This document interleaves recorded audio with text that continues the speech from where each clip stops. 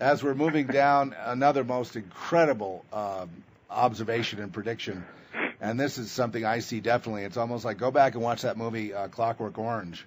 Yeah. Global gang stalking syndicate, global satanic cult, universal, everywhere. See smiley face murders, uh, murder cults. Why you must live a blameless life and give them no hooks and be very aware of who is around or when new people come into your life suddenly and friendly, it seems, or a new job. Uh, be very wary. Now, these murder cults, they're, they're doing human sacrifice for Satan, right? Yes, yes, and they're far more extensive and infiltrated into into every station of life than you could have ever imagined, and they're being activated now.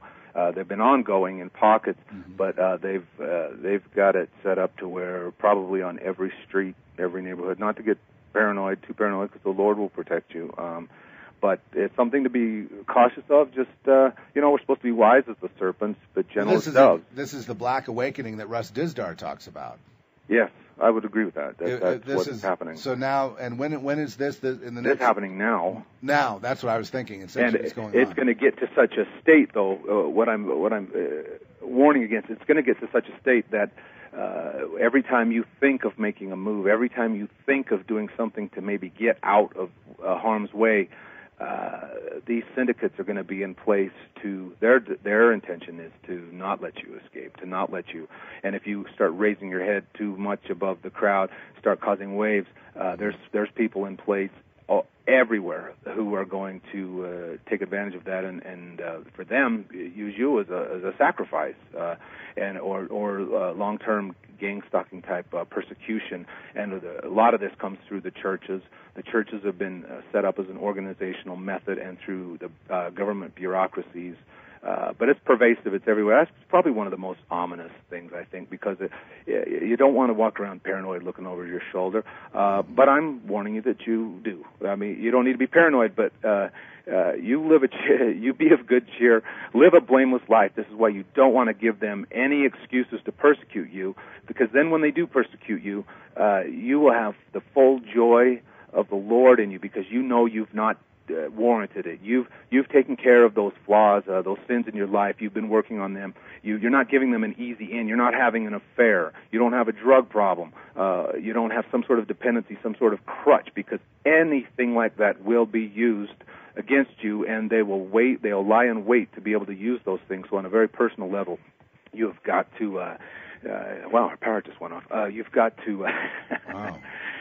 Yeah, everything just shut down. That's interesting. Uh, you've got to, uh, you've got to amazing. be, the, and this is where living the blameless life, so that in your heart and your conscience, you just keep getting better. You just keep coming, becoming more pure, more chaste, and not just in action, but in thought, because Mm-hmm. it's in your thoughts that they can hook you too. Because believe me, they have the ability to get in your head.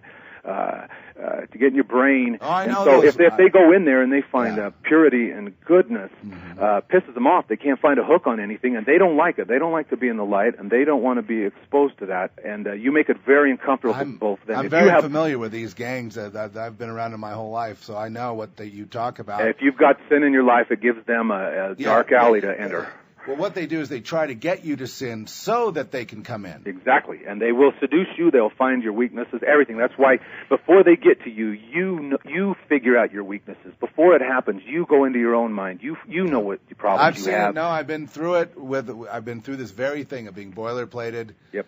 Um, uh, my house invaded, all that, and I, and and uh, look, I understand exactly who they are.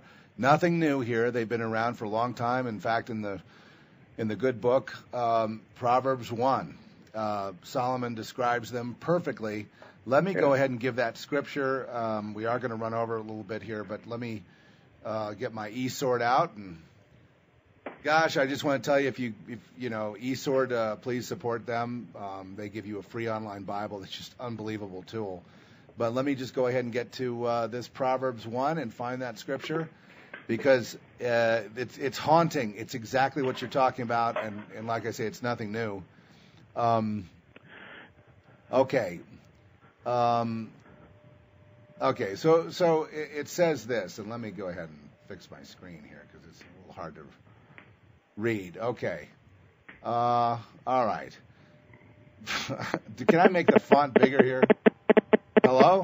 Yeah, What's, what's I'm happening here. with Brother Thomas? Okay. Um, okay. Here's what it say. If they say it begins with Proverbs one eleven one one one, how convenient is that? Huh? One Wow. eleven. Yeah. Okay. Yep. It says, if they say, "Come with us and let us lay wait for blood, let us lurk privily for the innocent without cause."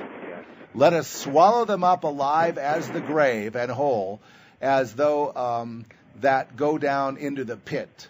We shall find all precious substance, and we shall fill our houses with spoil. In other words, steal from you. Yep. Cast in thy lot amongst us. In other words, they're talking to a person. They're saying, Come on with us, cast in thy lot amongst us, and let us all have one purse. My son, walk not thou in the way with them. Refrain thy foot from their path, he's saying. For their feet run to evil and make haste to shed blood. Surely in vain the net is spread in the sight of any bird, and they lay wait for their own blood, and they lurk privily for their own lives. In other words, they're the ones going to death. So are the ways for everyone that is greedy for gain, which taketh away the life of the owners thereof. Um, but uh, come, let us have a collective. Uh, and someone said that was communism, and I said that's not communism. They are a collective. This gang you talk about. Yes. They they they wait. Uh, he says, "My son, don't walk, don't go with them. Cast in thy lot amongst us, and let us have one purse." They say. These are these people. That, Yeah, you must be very aware of uh, new opportunities that suddenly arise because they're going to. As Oh, I know that one. descends, you know. yeah, see the film Mulholland Drive. That's like Yeah. uh, uh, where, where the girl, an innocent girl, arrives in Hollywood, and it's all new, and Mhm. it's a, and it all turns out to be a setup.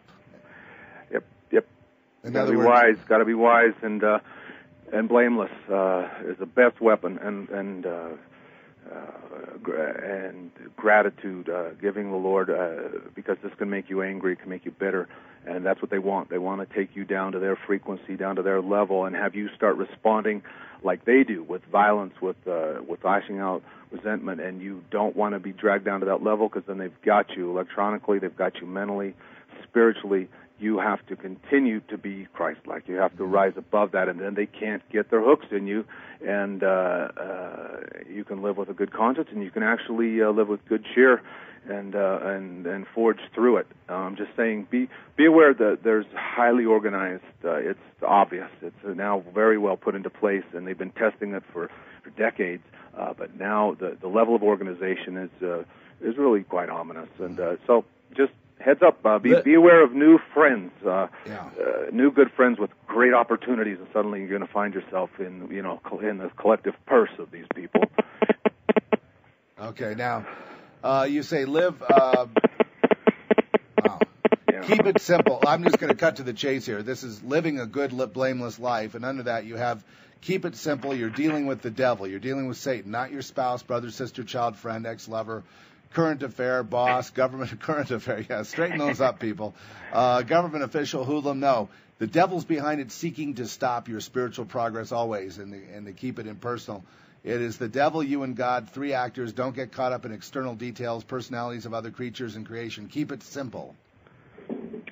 Yep, that's the secret. Uh, I told is- Trish, I told Trish, you know, my it, to prove to me, you know, just coming to me and saying you're a Christian, I'm just like you. Let's be friends. It doesn't work that way with me. You got to prove it at this point. Yeah, you must be very, very wise. Must be wise as the serpents themselves, which is can be uncomfortable because you have to learn about them. You have to, you have to uh, somewhat know. Uh, you have to have knowledge. You don't want to perish because you don't know what's going on, and you're foolish and you're naive. You're not supposed to be stupid. You're supposed to be childlike. Ch- children are wise. Uh, they can they can ascertain the truth of someone quickly. Well, well why They're- are the worlders stupid? uh, yeah, because they're they're gone. They're? They're, they're empty vessels. They're empty vessels for the devil. not. There's nobody there. There's nobody home, as far as I'm concerned. It's a bunch of robots, and so they're they're as smart as a machine can be, which is uh, program in, program out. Uh, they're programmed, and uh, they can bluster. They can look. You know, yeah. One thing to keep in mind. Here's an important thing before we wrap up. To keep in mind, uh, these people want you to believe they have all power, that they've got every base covered, and it looks like they do. They've got a lot going on, but you should know that uh, most of these people are drug addicts. They're perverts. They're incestuous. They're pedophiles. Oh yeah. And they're constantly have one reason they haven't been successful yet is because their own lives are a disaster. They're constantly having to uh, backtrack and, and, and create more lies and create more subterfuge and more murder, uh, more mayhem to, to stay alive. So a lot of their energy is spent just trying to not be killed and taken out themselves by the other uh, predators that they're they're in league with. Uh, they're not so powerful. They're, that one reason they constantly fail is because evil is stupid.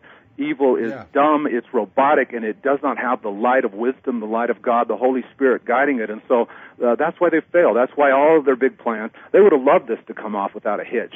If they could have perfectly put this all together and nobody knew the difference, they would have been thrilled with that. They don't like all this trouble that's going on. Uh, they're going to make the most of it. But uh, uh, just know that these are very uh, up uh, individuals, and uh, they don't have power. Uh, the devil has power uh, to work through them for a time, uh, but these are not people to fear. I told Uh, people don't go that way, or you're just going to wind up being an empty, you know, an empty Yeah, shell. just, you're wasted. He'll just use you if you're effective, if you're talented. Yeah, he'll use you for longer. Yeah, you'll get some success for a time. But what an empty, pointless, base, disgusting life to, to throw in with the devil. you You know, tell it, brother.